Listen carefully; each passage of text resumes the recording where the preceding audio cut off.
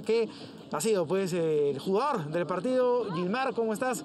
Eh, pese, pese, a tu juventud, hoy se dio un gran partido con apagón y todo para el final, pero ¿cómo te has sentido? Las sensaciones de, ese triunfo tan ajustado. Bien, bien, feliz por el equipo, porque por más que siempre tendremos por poner, pero esa vez no se pudo, hubo tiempos que, que tocó correr, tocó meter y, y, feliz por eso, ¿no? porque el equipo se, se, acomodó todo, se acopló todo y cuando tuvo que, que, meter metió y cuando tuvo que jugar jugó.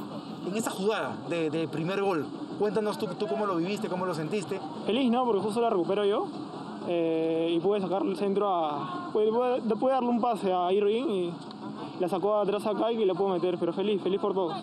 Gilmar, pese a, ser uno de los más jóvenes, ¿cómo te sientes de ser parte del equipo inicial, ¿no? de, de un campeón, de un equipo que tiene la responsabilidad de lograr el bicampeonato? Claro, claro, me siento feliz, el mejor equipo de Perú, te puedo decir. Ahora, eh, feliz, feliz por, por estar en el 11 y nada, aprovechar las oportunidades que me den. ¿Hoy pensaron que se iba a dar un partido tan duro frente a la gente de Boys? Sí, sí. Siempre pensamos que el partido es duro. Eh, nos preparamos para eso y gracias a Dios se pudo sacar el triunfo. Gracias, Gilmar. No, gracias a usted.